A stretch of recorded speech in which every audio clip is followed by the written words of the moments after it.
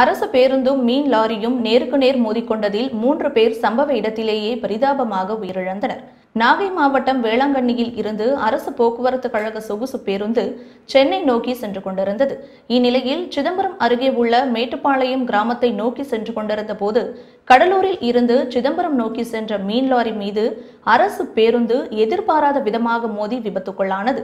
இந்த விபத்தில் திருப்பாலப்பந்தல் கிராமத்தைச் சேர்ந்த சிவகுமார் நாகப்பட்டினம் அன்பரசன் வைரவன் ஆகிய மூன்று பேரும் சம்பவ இடத்திலேயே பரிதாபமாக உயிரிழந்தனர் இது குறித்து தகவல் அறிந்த புதுச்சத்திரம் காவல்துறையினர் சம்பவ இடத்திற்கு விரைந்து வந்து உடல்களை கைப்பற்றி பிரேத பரிசோதனைக்காக கடலூர் அரசு மருத்துவமனைக்கு அனுப்பி வைத்தனர் மேலும் படுகாயமடைந்த பயணிகளை மீட்டு கடலூர் மற்றும் சிதம்பரம் ராஜா முத்தையா மருத்துவக் கல்லூரி மருத்துவமனையில் அனுமதிக்கப்பட்டு சிகிச்சை பெற்று வருகின்றனர் மேலும் இந்த விபத்து குறித்து புதுச்சத்திரம் காவல்துறையினர் வழக்கு பதிவு செய்து தீவிர விசாரணை நடத்தி வருகின்றனர்